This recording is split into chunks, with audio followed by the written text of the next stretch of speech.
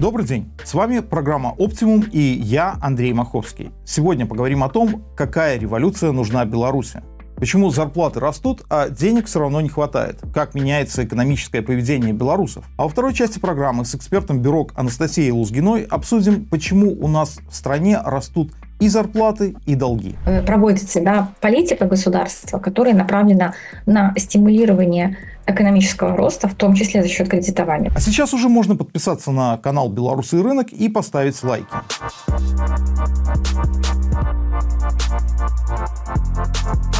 понедельник, э, во время посещения Витебского государственного университета, Александр Лукашенко сказал, что стране нужна революция. И не когда-нибудь, а как можно скорее. Наша задача в ускоренном формате провести новую научно-техническую революцию. Вообще-то для научно-технической революции, конечно, уже немного поздновато. Научно-техническая революция, она была актуальна в прошлом веке. А сейчас на дворе у нас вроде как информационная эпоха. Но суть на самом деле не в этом. Какая бы там ни революция ну, не стояла на повестке дня, научно-техническая или информационная, один раз мы ее уже провалили, причем с таким разгромным результатом. Отрасль, которая была драйвером, тащившим белорусскую экономику в светлое информационное будущее, сейчас пору саму вытаскивать из ямы, куда она упала после 2020 года. Я говорю, конечно, про белорусский IT-сектор, потому что у самого IT-сектора выбраться из этой ямы получается плохо – по правде говоря, вообще никак не получается. Поэтому больше года назад для белорусского IT власти придумали программу э, реанимации, которая должна была вывести отрасль из глубокого кризиса. Речь идет о втором дыхании и ранее недоступных горизонтах для парка, да и всей IT-отрасли Беларуси. Надо осваивать новые рынки, заместить западные инвестиции – азиатскими. Ну и вообще, если где-то создается достойный продукт, какие бы ни были преграды, заборы и препоны, этот продукт будет востребован. Его купят. Собственно говоря, суть программы, она заключалась в том, чтобы э, вернуть IT-сектору льготы, которые у него забрали, и в том, чтобы создать специальную структуру, которая должна была помогать в продвижении белорусских импортозамещающих IT-продуктов на рынке дружественных стран. Ну вот год прошел, даже немножко больше, и можно уже посчитать некоторые результаты.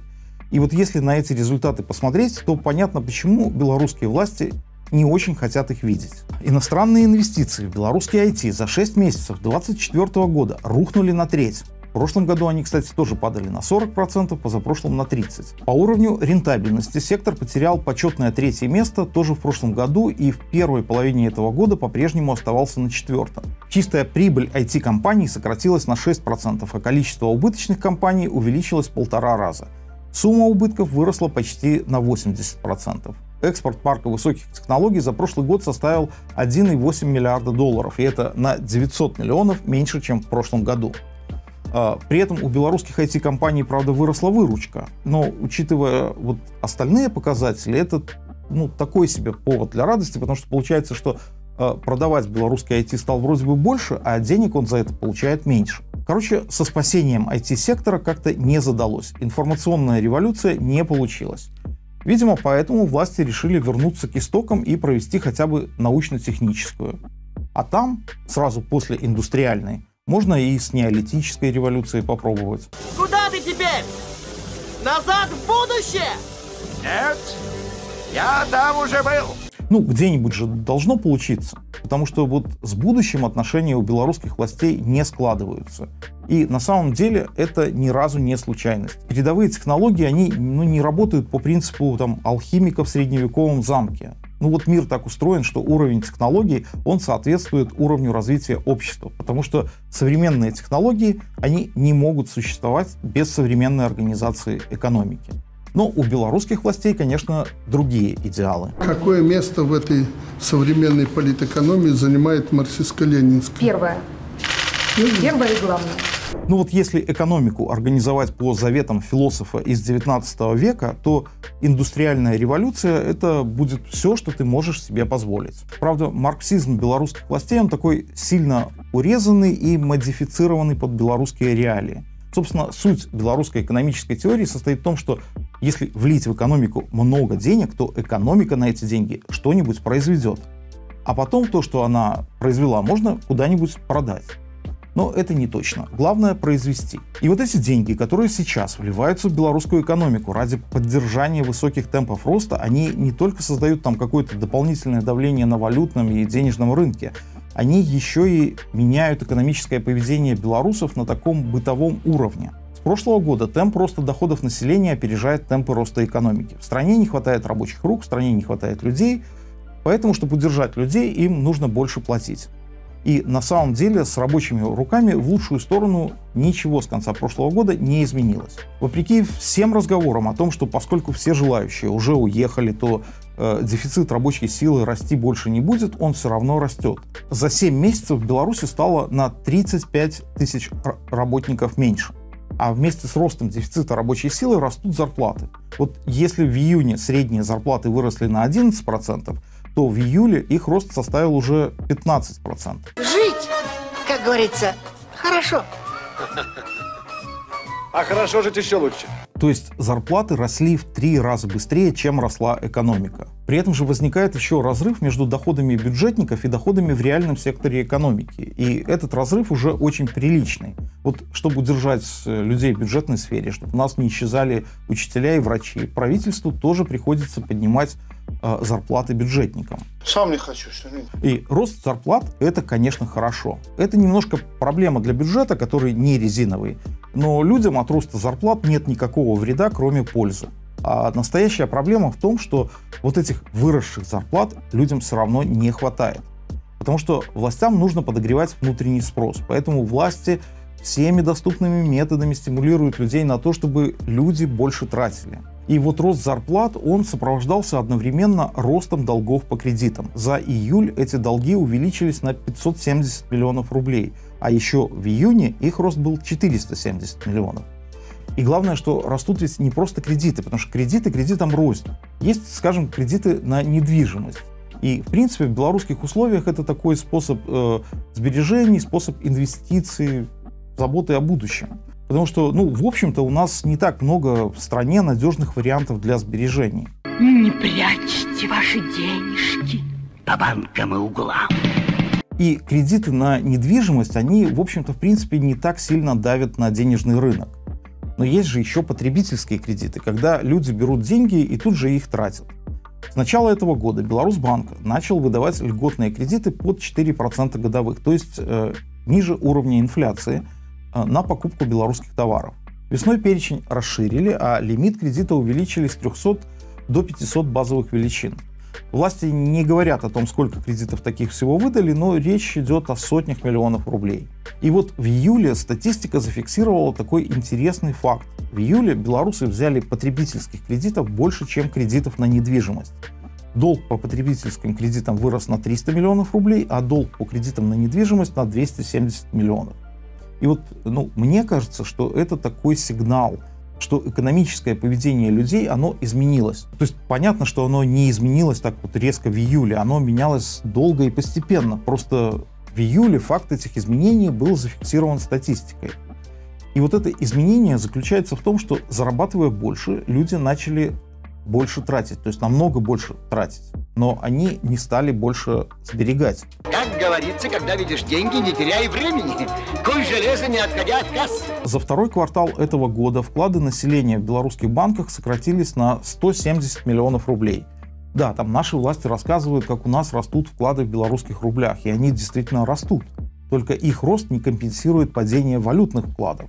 То есть вот когда люди забирают валютные вклады, закрывают валютные вклады, они не переводят вот все эти деньги в рублевые. Поэтому вот этот рост рублевых депозитов в ущерб валютным, он на самом деле не свидетельствует о росте доверия к белорусскому рублю. Он на самом деле свидетельствует только о том, что хранить деньги в валюте в банках стало невыгодно, а местами даже убыточно. То есть при росте доходов вклады сокращаются. Хотя логично было бы ожидать, что будет ну, наоборот, что э, как бы будут расти доходы, но будут расти и вклады. Но этого не происходит. Люди даже вот э, в недвижимость инвестируют не так много. Зарабатывая больше, люди просто больше тратят. И еще берут кредиты, чтобы иметь возможность тратить больше, чем они зарабатывают. То есть население фактически действует в духе, можно сказать, официальной экономической доктрины. Завтрашнего дня нет! Нет завтрашнего дня! Ну, возможно, люди просто надеются, что случится очередная инфляция с девальвацией, и вот этот долг, он станет таким необременительным, потому что, ну, такое же случалось в современной белорусской истории много раз. И у многих белорусов есть э, положительный опыт, когда взятый кредит превращался в ничто. Но это в любом случае очень много говорит о степени веры людей в устойчивость текущего экономического процветания. По крайней мере, говорит точно больше, чем любые опросы, которые проводит Министерство экономики или Академия наук. И это еще один такой дополнительный фактор давления на финансовый рынок в частности и на экономику вообще.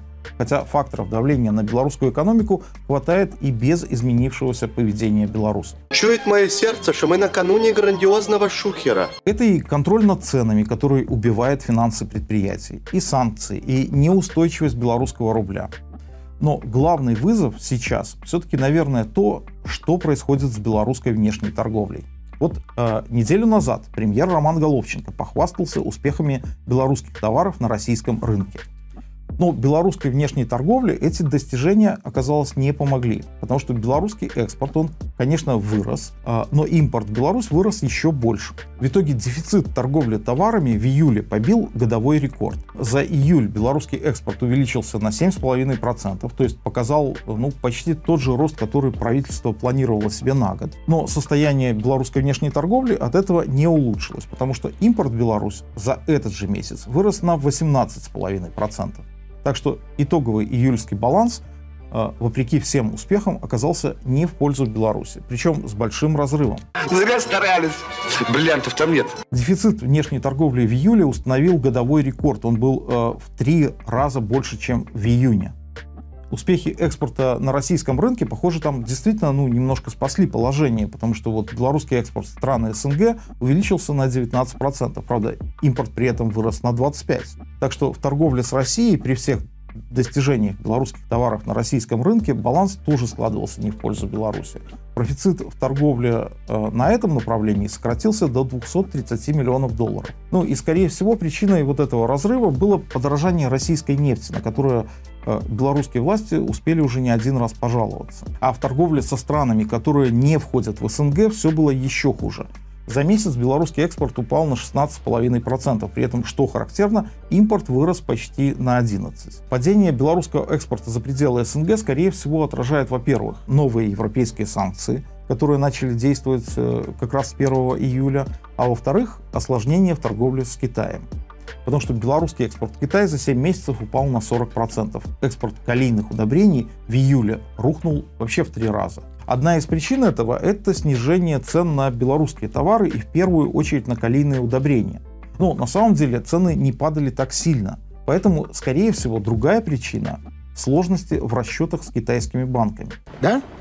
Какая разница? С начала года мы слышим о том, что китайские банки все чаще отказываются обслуживать российские компании, потому что ну, боятся попасть под вторичные санкции дошло до того, что банки в Китае перестали принимать платежи, если в платеже указаны русские фамилии. И положение белорусских компаний в лучшую сторону ну, особо не отличаются, потому что фамилии и риски вторичных санкций, они похожи. Россия сейчас обсуждает с Китаем переход э, к бартерным сделкам, то есть э, ну, прямому обмену товаров. Но в случае с Беларусью это не сработает, потому что для бартера нужен некий такой торговый баланс. А китайский импорт в Беларусь, он намного выше белорусского экспорта в Китай. Так что вот без июльского успеха на российском рынке все было бы гораздо хуже. И проблема в том, что, как я говорил в предыдущей программе, этот успех был такой случайной флуктуацией, которую, скорее всего, не удастся повторить, потому что в июле в российской экономике случился всплеск.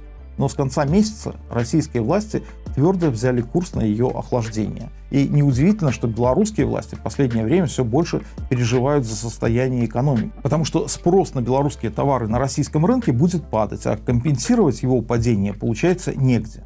И вот единственное, что остается стабильным и неизменным, это спрос на такие ну, очень специфические товары. Миллиарды российских рублей на наше производство, то есть в нашу экономику, поступают во многом по оборонным заказам. Это и декларируется публично, да и очевидно, что этих заказов больше, чем о них говорится вслух.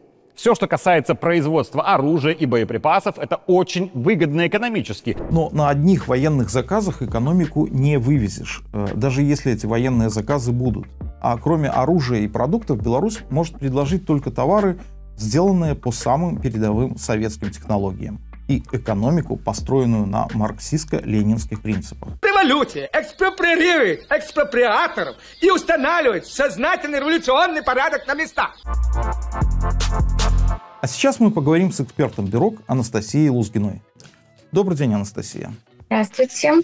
А вот что хотел спросить, вот пытаясь понять, что происходит на белорусском кредитном рынке. Там, рынке кредитов населению я имею в виду, потому что, вот, на мой взгляд, это любопытная ситуация, когда у нас с одной стороны растут доходы, а с другой стороны рекордными темпами растет объем кредитов. Да, на, на сегодняшний день мы можем констатировать э, активный рост доходов населения, который э, действительно сопровождается э, тоже, можно сказать, активным э, ростом э, кредитования. Причем кредитование по всем направлениям, то есть имеется в виду и потребительские кредиты, и э, кредиты на э, строительство, там, реконструкцию жилья.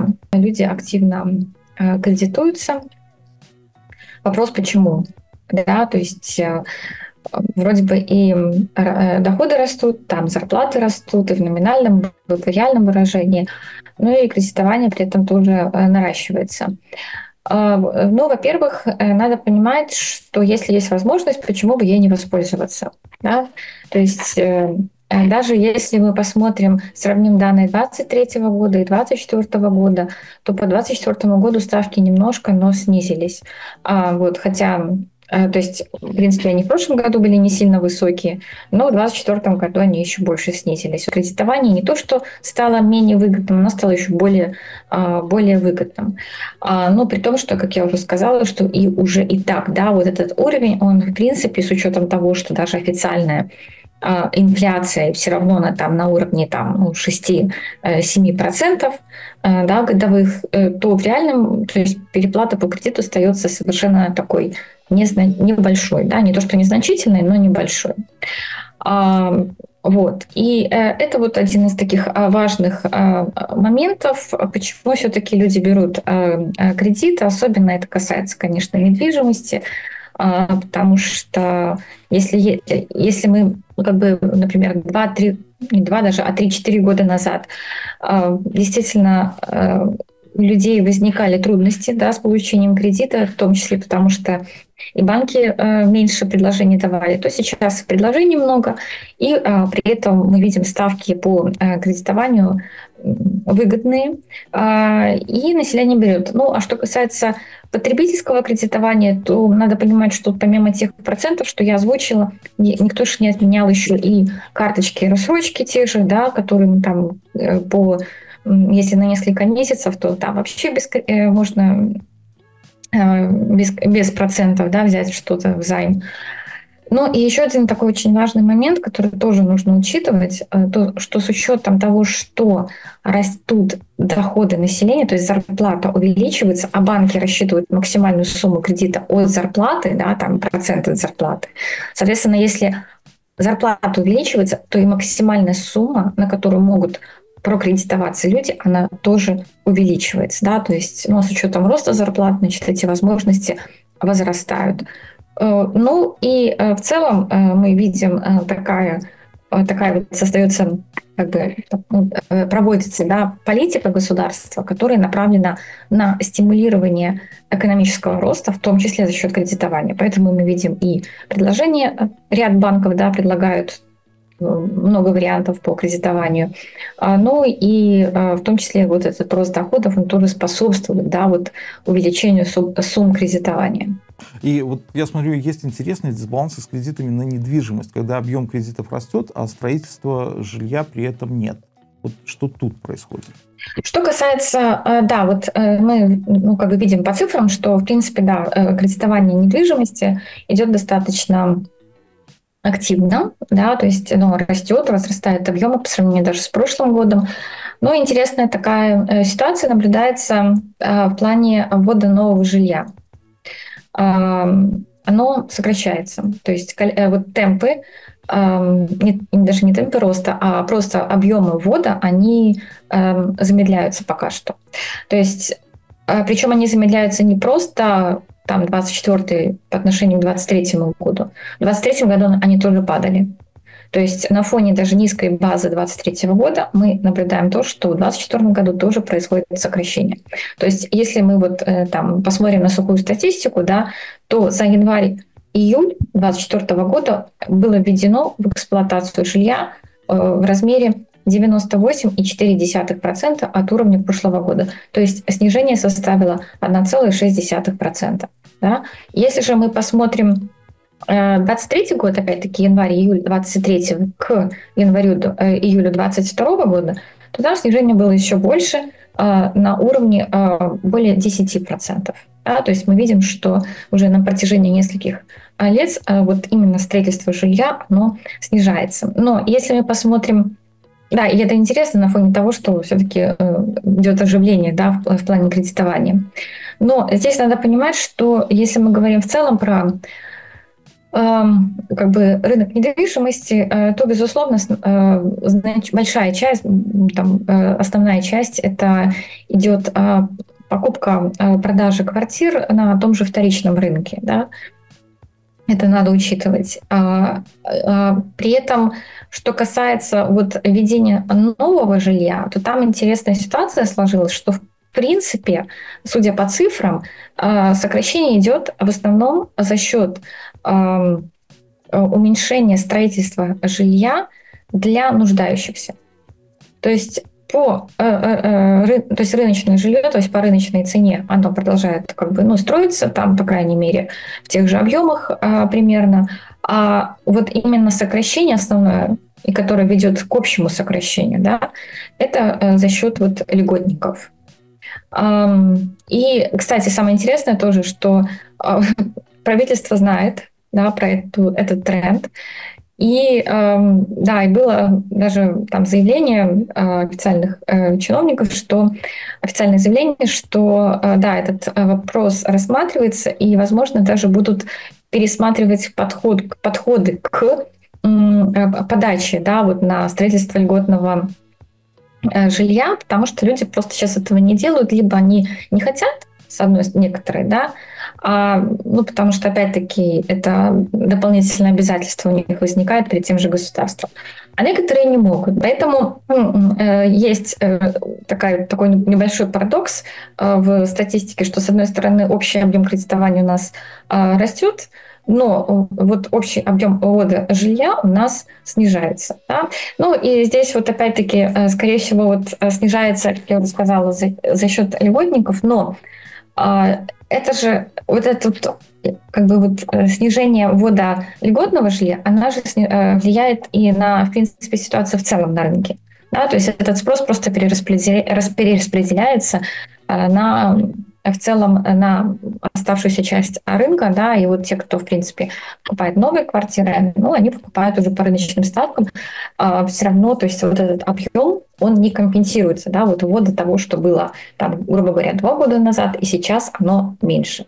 Да, то есть это, конечно, не очень хорошая э, тенденция. В этом плане вот мы видим, что да, строительство в определенной степени стагнирует. А что касается депозитов, у нас э, идет отток постоянных вкладов в валюте и наоборот приток вкладов в рублях. Ну и причина, как я понимаю, в том, что ставки по валютным депозитам, они уже чуть ли не отрицательные. Да, люди вкладываются в рублевые а, депозиты, так как валютные депозиты невыгодны.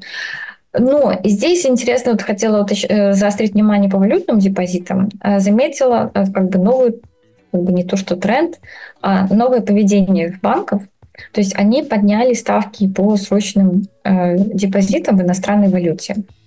То есть, ну, если, например, на июль прошлого года средняя ставка да, была по валюте 1,68 сотых, 1% 68 сотых, да, там, э, то на сегодняшний день это более 4%.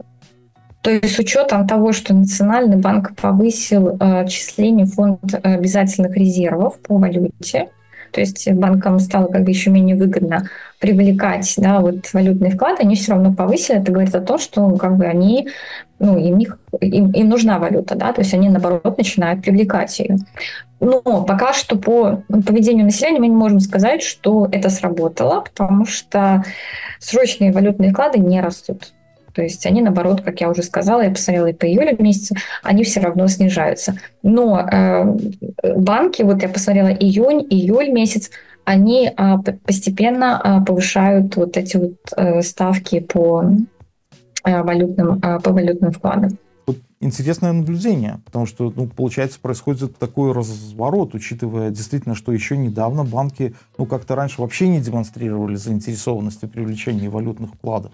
Банки, как бы, ну, и, э, то есть это была и есть э, политика Национального банка, то, что ну, проходить вот этот вот, э, стимулировать процессы дедоларизации, в том числе за счет снижения валютных вкладов населения, перевода их как бы в рублевые, да, то есть рублевые какие-то активы.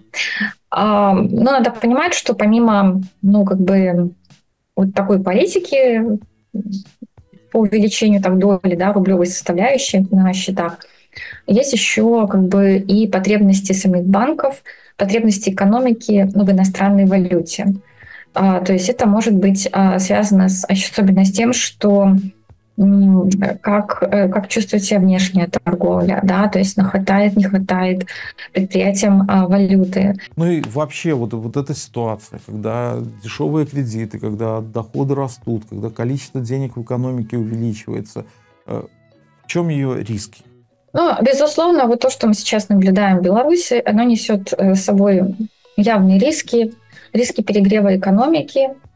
То есть, если в рыночной экономике это выливается, имеется в виду, в такой зарегулированный, в активный рост э, цен, ускорение роста цен, ну и, соответственно, э, риски девальвации.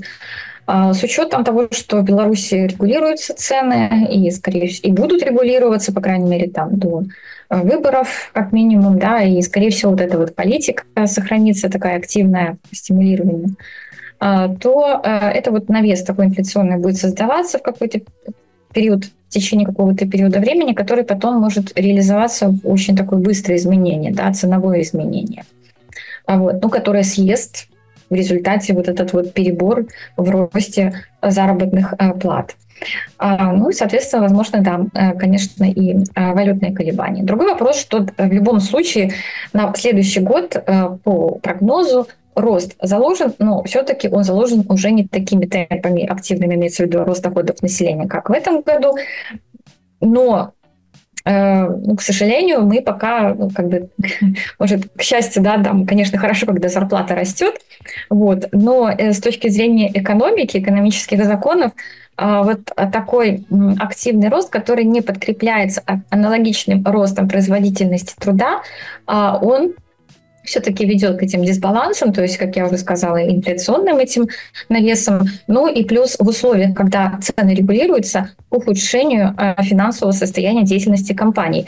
А, и это мы, кстати, тоже видим уже по статистике, что вот эта вот рентабельность по ряду да, отраслей, она снижается в этом году по сравнению с а, аналогичными показателями прошлого года. Да, то есть вот это вот тоже риск такого ухудшения. И а, здесь еще надо вспомнить тоже, опять-таки, Россию, да, с которой Беларусь сейчас работает в очень такой тесной связке, а, что как раз вот там понимают в России, да, э, российские экономические э, власти понимают, что у них тоже там активный рост идет э, ВВП более за полугодие 4,6%, насколько я помню, плюс, то есть это тоже высокие показатели роста ВВП. И вот там Центральный банк проводит политику по охлаждению экономики. Да? То есть он повышает, активно повышает ставки, чтобы замедлить вот этот рост кредитования, чего не делают в Беларуси. Да? То есть э, ну, тут задачи другие, да, в том числе политические уже стоят.